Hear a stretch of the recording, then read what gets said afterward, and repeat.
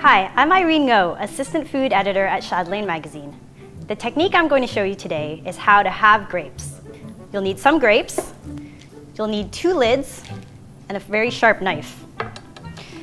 So to start, we're going to place one of the lids down on the cutting board, and we want to make sure that the lid actually has a lip, and this will prevent the grapes from sliding off.